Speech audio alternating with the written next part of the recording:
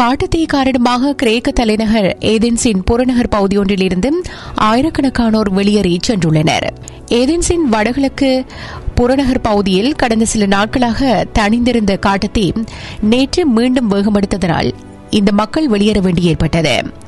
அருகில் காட்டுத்தீயினால் பெருமளவு காடுகள் எரிந்த தீ ஒன்றிலிருந்தும் படகு மூலம் அறுநூறுக்கும் மேற்பட்டவர்கள் பாதுகாப்பாக வெளியேற்றப்பட்டுள்ளனர்.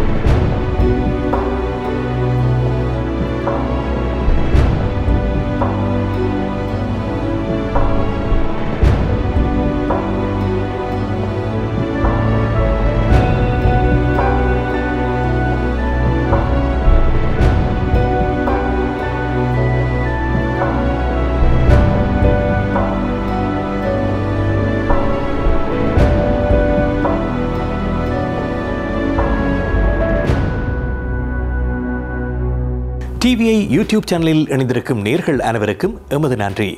எமது காணொலி தொகுப்புகளை தொடர்ந்து நீங்கள் பார்வையிடுவதற்கு கீழிருக்கின்ற பெல் பட்டனை அழுத்துவதன் ஊடாக நோட்டிபிகேஷனில் பல காணொளி தொகுப்புகள் உடனுக்குடன் உங்களை வந்து சேரும். அருகில் இருக்கின்ற முக்கிய காணொலி தொகுப்புகளையும் பார்வையிட தவறாதீர்கள்.